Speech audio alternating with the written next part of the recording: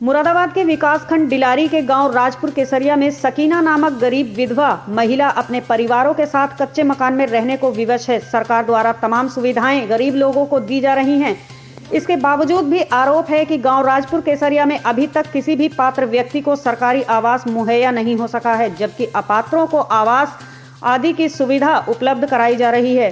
बीती रात्रि बरसात के चलते सकीना का कच्चा मकान भरभरा कर गिर पड़ा। गनीमत यह रही कि किसी तरह वह अपने परिवार के साथ मकान से बाहर निकल गई। सकीना का आरोप है कि उसने पूर्व प्रधान, वर्तमान प्रधान से सरकार द्वारा आवास आदि की सुविधा की मांग की, परंतु उसे किसी भी तरह की सुविधा उपलब्ध नहीं कराई गई है। वहीं गाँव के रहने वाले समाज सेविक अरशद शेख ने बताया कि सकीना जैसे गाँव में अन्य भी कई लोग हैं, जिन्हें किसी भी तरह की सरकारी सुविधा का लाभ नहीं मिल सका है, बल्कि अपात्रों को सुविधा मुहैया कराई जा रही है। उन्होंने सरकार से मांग की है कि गाँव में एक टीम द्वारा उचित जाँच करा कार्यवाही की जाए। क्या नाम है तुम्हारा? शकीला कहाँ रहती हो? राजपुर केसरिया। दिक्कत क्या है? दिक्कत है देख तो देख लो फुटा फटा घर है और क्या देखे दिक्कत है। आदमी कहाँ तुम्हारा? आदमी चार साल हो गए खत्म हुआ। गुजर बसर कैसे हो रही है? गुजर बसर ऐसा है मजदूरी मेहनत करो अपने बच्चे को पाल ले। अच्छा ये मकान कैसे गिरा ये रात? हैं?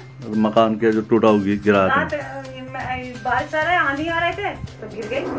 बच्चे लगे सोए पड़ेगी। चोट तो नहीं लगी किसी के? चोट लगा ना चोट लगने से बच गई। अच्छा। इतना उठ गई बच्चे को लेके। हाँ।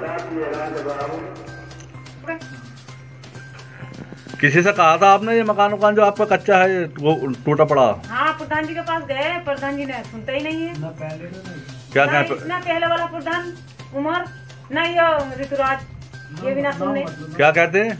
नुकर अब बना देंगे ना कॉलोनी तो आया ही ना है ऐसा है ऐसा है वो है, ऐसा कहते हैं। हाँ। और पीरा प्रधान का उसमें सब फ़ोटो खींच के ले जाते हैं कुछ नहीं देते।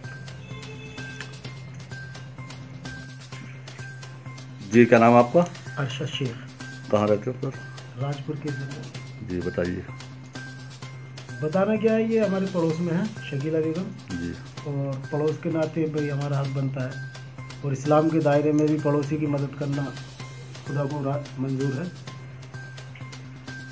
और पड़ोसी की मदद करते रहना चाहिए। मैं ये भाग के मेरे पास गई कि मेरा मकान गिर गया तो आके देखा तो इनकी चरपाई रपाई दबी हुई थी।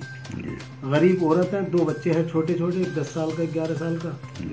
और अपना बेचारा पेट बेचारी पेट पाल लेंगे बच्चों का जैसे तैसे करके। लेकिन एक चीज़ मैं कहना चाहूँगा आपके चैनल के माध्यम से। कि राजपुर केसरिया का मैं निवासी हूँ, एक सोशल वर्कर भी हूँ, लोगों की मदद करना चाहता हूँ। इस चैनल के माध्यम से मैं ये आवाज़ गाँव की पहुँचाना चाहता हूँ कि जैसे गरीबों को ज़रूरत है, उस तरह से यहाँ मदद नहीं होती लोगों कोई भी प्रधान रहने दो, किसी भी उसका रहने दो मतलब मेरे सामने भी कई प्रधान रह गए। मतलब पात्र व्यक्तियों को यहाँ मदद नहीं मिलती पात्र व्यक्ति को कोई मदद यहाँ इसलिए नहीं मिलती कि ये पात्रता की ही तो निशानी है कि आज से नहीं है दस साल से है पे मकान। तो दस साल में और आज भी प्रधान पीछे भी प्रधान उससे पीछे भी प्रधान। तो पात्रता अगर होती तो इनके मकान मिलते।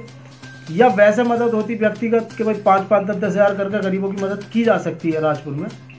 और मैं आपके माध्यम से ही बताना चाहता हूँ रिपोर्टर साहब कि अकेली यही औरत नहीं मैं राजपुर का चप्पा चप्पा ढूंढ के, घूम कर आया हूँ। मैं एक व्यक्तिगत तौर पर दस पाँच हज़ार की मदद दे दूँ तो इनका मकान बनेगा नहीं। चलो, मैं दस हज़ार रुपये आज दे देता हूँ, सब मकान वालों को दे देता हूँ, लेकिन इनके मकान नहीं बनेंगे। जब तक कोई सरकारी पॉलिसी, सरकारी स्कीम इनको नहीं मिले।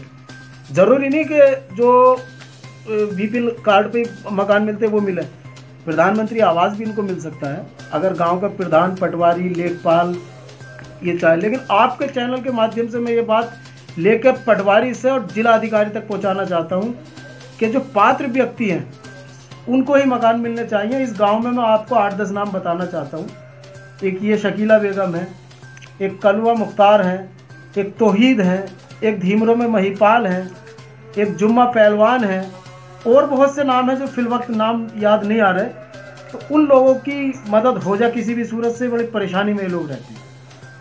और यहाँ पात्रों की मदद नहीं होती है अपात्रों की ज़्यादा हो जाती है। मतलब यहाँ आपका कहने का मतलब ये है जो भी सरकार की योजनाएँ चलती हैं जी जी। यहाँ जो है पात्रों को ना मिल करके अपात्रों को मिल आप जाती है। देख लो ना इस चैनल के माध्यम से आप दिखाओ लेके पटवारी से और डीएम तक कि पात्र को मिलती तो ये मकान क्यों गिरता। इसी तरह से एक तोहीद है मैं उसकी भी आपको किसी दिन बुलाऊँगा तोहीद के घर चलेंगे उसके बेचारे की पिन्नी है। इसलिए मैं आवाज़ उठाना चाहता हूँ आपके चैनल के माध्यम से कि लोगों की पात्रों की मदद हो। प्रधान कोई भी बने, मदद पात्रों की होनी चाहिए। और यहाँ ठेकेदारों की और जो मज़बूत लोग हैं, उनकी मदद हो जाती है।